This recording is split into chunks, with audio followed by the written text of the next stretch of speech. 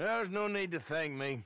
Like you said, it's pleasure I'm after. He's more slippery than he seems. I've tried being polite. Don't take any nonsense. Nonsense? Me? If he doesn't have the money, beat him. Well, I usually do. I know. I know. During this long and tragic journey, you will be asked to choose between an impossible situation. Should you go to the Thomas Downes Ranch and get tuberculosis, or should you go to Strawberry and break Micah Bell out of jail? Although it's an impossible question, there's only one clear answer, and I'd rather have tuberculosis. I know your ears are working, Arthur. Why? I'll cut you in. Loaning.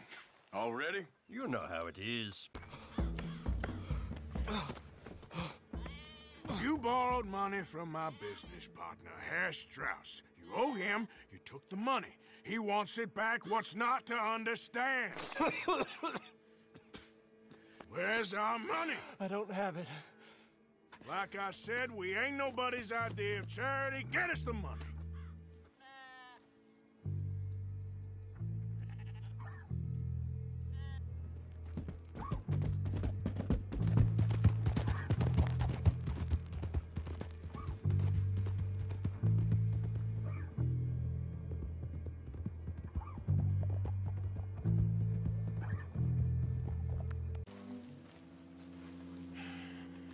Ah, how did you get on? Not so good.